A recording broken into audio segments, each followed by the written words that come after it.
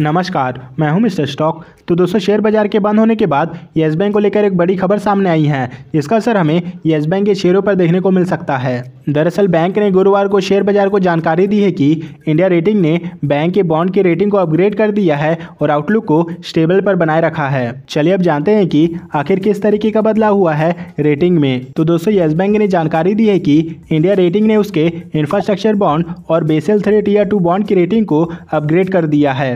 बता दें कि इंफ्रास्ट्रक्चर बॉन्ड की रेटिंग को अपग्रेड कर आई ए कर दिया है, जो इससे पहले आई ए माइनस था।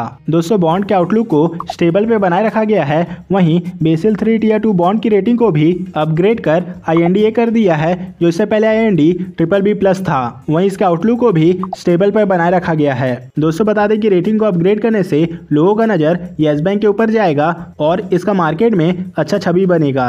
दोस्तों, आप कमेंट करके बताइए कि आपको इस कंपनी के शेयर में, यानी कि येस बैंक के शेयर में कितने का प्रॉफिट या फिर कितने का लॉस हो रहा है? दोस्तों, अगर आपको जाना है कि कौन से कंपनी का शेयर कब बाय करना है या फिर कौन से कंपनी का शेयर कब सेल करना है तो आप हमारे टेलीग्राम चैनल को फॉलो कर सकते हैं। तो दोस्तों, इस वीडियो में फ़िलहाल इतना ही। मिलते हैं नेक्स्ट वीडियो में।